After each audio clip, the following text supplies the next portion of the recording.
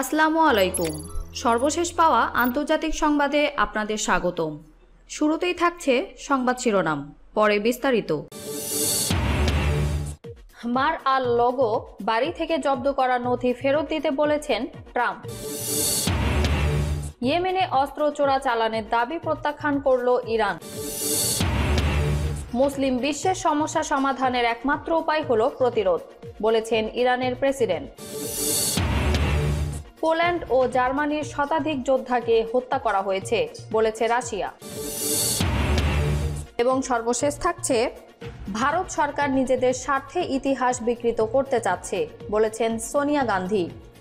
ভারতে প্রতিনিয়ত মুসলমানদের নির্যাতনের মাত্রা বেড়েই চলেছে, যদিও মুসলিম বিশ্বে চাপে পড়ে অনেকটা নতজানু অবস্থায় রয়েছে এখন ভারত সরকার।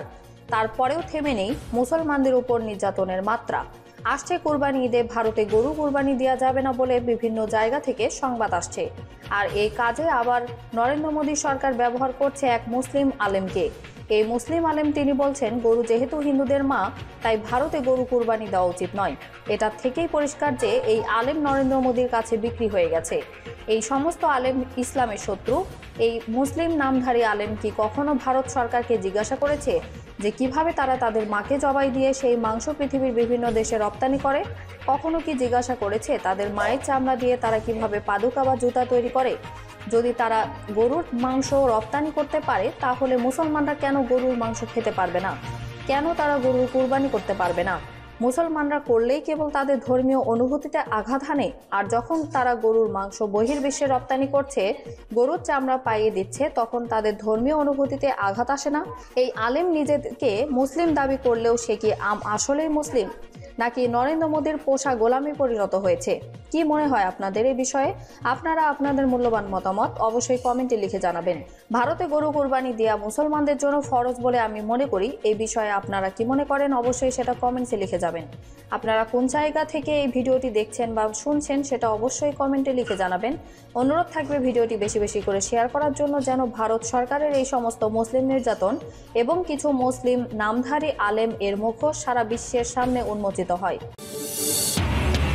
আন্তর্জাতিক সংবাদ সবার আগে পেতে আমাদের চ্যানেলটি সাবস্ক্রাইব করে পাশে থাকা বেল বাটনটি অন করে দিন এবং এই ভিডিওটিতে একটা লাইক দিয়ে ভিডিওটি শেয়ার করে দিন আপনার পরিচিতদের মাঝে। মার আ লাগো বাড়ি থেকে জব্দ করা নথি ফেরত দিতে বলেছেন ট্রাম্প। ফ্লোরিডার পাম বিচের মার আ লাগো বাড়ি থেকে জব্দ করা নথিপত্র ফেরত দেওয়ার জন্য মার্কিন কেন্দ্রীয় তদন্ত সংস্থা এফবিআইয়ের প্রতি আহ্বান জানিয়েছেন আমেরিকার সাবেক প্রেসিডেন্ট ডোনাল্ড ট্রাম্প। তিনি বলেছেন এই ধরনের কাগজপত্র বা তার ব্যক্তিগত গোপনীয়তা রক্ষার বিষয়টি আইনগতভাবে সুরক্ষিত এবং এটি রাষ্ট্রের প্রধান নির্বাহী কর্মকর্তা হিসেবে প্রাপ্ত সুবিধা।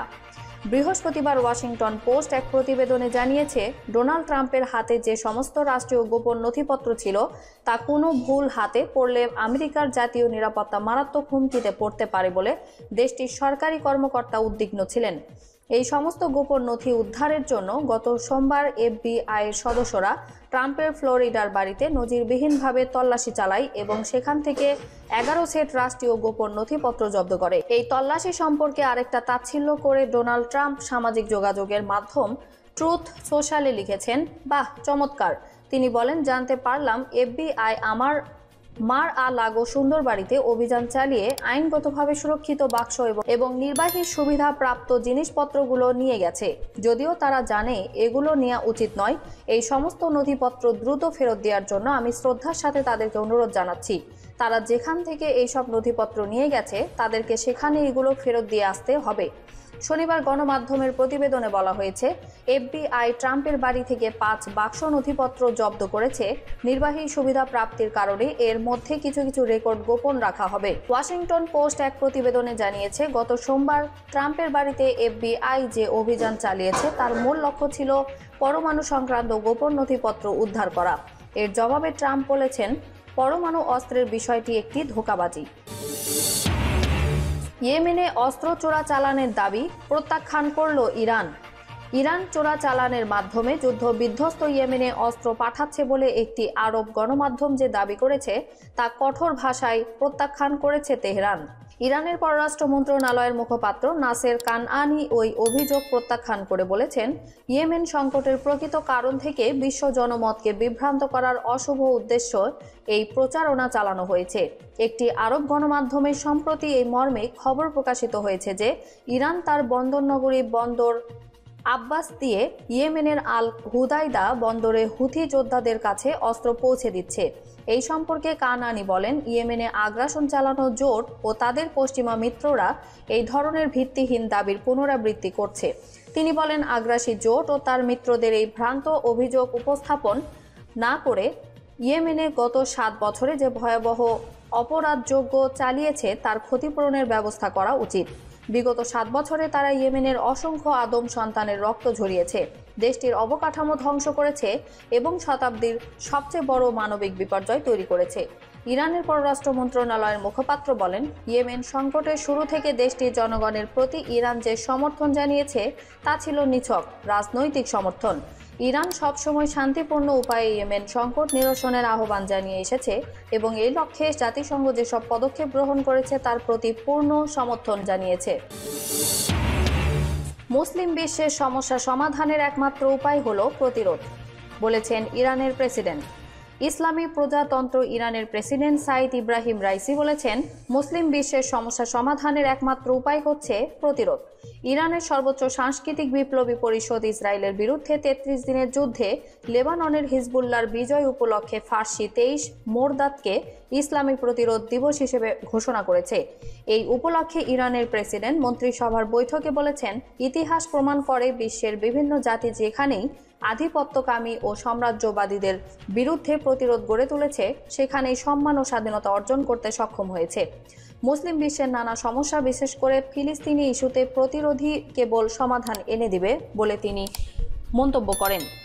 ইরানের প্রেসিডেন্ট রাইসি কাশেম সোলাইমানি ও হোসাইন হামিদানি সহ শহীদ প্রতিরোধ সংগ্রামীদের প্রতি শ্রদ্ধা জানিয়ে বলেন, ইরানি সহ বিশ্বের সব স্বাধীনতাকামী মানুষ প্রতিরোধ সংগ্রামীদের আত্মত্যাগের কাছে ঋণী। পোল্যান্ড ও জার্মানির শতাধিক যোদ্ধাকে হত্যা করা হয়েছে, বলেছে রাশিয়া। ইউক্রেনের খার্কিব অঞ্চলে পোল্যান্ড ও জার্মানির শতাধিক ভাড়াটে যোদ্ধাকে হত্যার দাবি করেছে রাশিয়া। রুশ প্রতিরক্ষা মন্ত্রণালয় সোমবার বলেছে, তারা খার্কিবের একটি ঘাঁটিতে হামলা চালিয়েছে। ওই হামলায় শতাধিক বিদেশি গেরিলা নিহত ও অর্ধ শতাধিক আহত হয়েছে। হতাহতেরা পোল্যান্ড ও জার্মানির নাগরিক এবং তারা ইউক্রেনের পক্ষে যুদ্ধ করতে সেখানে এসেছিল বলে রুশ প্রতিরক্ষা মন্ত্রণালয়ের বিবৃতিতে উল্লেখ করা হয়েছে। বর্তমানে দোনেস্ক ব্যাপক সংঘর্ষ চলছে বলে রুশ কর্তৃপক্ষ জানিয়েছে। রুশ প্রতিরক্ষা মন্ত্রণালয় ইউক্রেনের একটি ব্রিগেডের প্রায় অর্ধেক সেনাকে হত্যারও দাবি করেছে। একই সঙ্গে ইউক্রেনের তিনটি ড্রোন ভূপাতিত করার কথা জানিয়েছে তারা। গত চব্বিশ ফেব্রুয়ারি রাশিয়ার বিশেষ অভিযান শুরুর পর ইউক্রেনকে সব ধরনের সাহায্য সমর্থন দিচ্ছে ইউরোপ এবং আমেরিকা। বহু ইউরোপীয় ও মার্কিনই সেখানে যুদ্ধ করতে গেছে বলে খবর পাওয়া গেছে। ভারত সরকার নিজেদের স্বার্থে ইতিহাস বিকৃত করতে চাচ্ছে, বলেছেন সোনিয়া গান্ধী। ভারতের প্রধান বিরোধী দল কংগ্রেসের সভানেত্রী সোনিয়া গান্ধী কেন্দ্রীয় সরকারের সমালোচনা করে বলেছেন, কেন্দ্রীয় সরকার আত্মমগ্ন সরকার। তারা নিজেদের স্বার্থে ইতিহাস বিকৃত করতে চাচ্ছে। তিনি সোমবার স্বাধীনতা দিবস উদযাপন উপলক্ষে এক বার্তায় ওই মন্তব্য করেন। সোনিয়া গান্ধী বলেন, গত পঁচাত্তর বছর ধরে দেশের উচ্চ শিক্ষিত এবং উচ্চ মেধা সম্পন্ন ভারতীয়রা দেশকে নেতৃত্ব দিয়েছেন, উন্নয়নের পথে এগিয়ে নিয়ে গিয়েছেন। বিজ্ঞান, শিক্ষা, স্বাস্থ্য এবং তথ্যের ক্ষেত্রে এদের নেতৃত্বেই ধীরে ধীরে নিজেকে মেলে ধরেছে ভারত। দূরদর্শী ওই নেতারা ভারতে মুক্ত ও স্বচ্ছ নির্বাচন প্রক্রিয়ার ভিত তৈরি করেছেন। গণতন্ত্র এবং সংবিধানের হাত শক্ত করেছেন। কংগ্রেস সভানেত্রী জানিয়েছেন, কেন্দ্রীয় সরকার এদের অবদানকে খাটো করে দেখাতে চাইলে কংগ্রেস তা সহ্য করবে না। তিনি বলেন, বিগত পঁচাত্তর বছরে আমরা অনেক অর্জন করেছি। কিন্তু আত্মমুগ্ধ সরকার আমাদের স্বাধীনতা যোদ্ধাদের মহান আত্মত্যাগ ও দেশের গৌরবময় অর্জনকে তুচ্ছ প্রমাণ করতে উদ্যত, যা কখনোই মেনে নেওয়া যায় না। ভারতীয় জাতীয় কংগ্রেস রাজনৈতিক লাভের জন্য ঐতিহাসিক তথ্যের উপর যে কোনো ভুল উপস্থাপন এবং মিথ্যার ভিত্তিতে গান্ধী নেহেরু, প্যাটেল আজাদ জির মতো মহান জাতীয় নেতাদের কাঠগড়ায় দাঁড় করানোর প্রত্যেকটি প্রচেষ্টা তীব্র বিরোধিতা করবে। অন্যদিকে সর্বভারতীয় কংগ্রেস কমিটির মিডিয়া ও প্রচার বিভাগের চেয়ারম্যান পবন খেরা বলেছেন, স্বাধীনতা দিবস উপলক্ষে প্রধানমন্ত্রীর দেয়া ভাষণে দেশবাসী হতাশ হয়েছেন। দেশবাসী আশা করেছিল উনি আট বছরের হিসাব দেবেন, কৃষকের আয় দ্বিগুণ করার প্রতিশ্রুতি দেওয়া হয়েছিল। তারা বিপর্যস্ত, অপেক্ষায় ছিলেন হয়তো কোনো জবাব পাওয়া যাবে।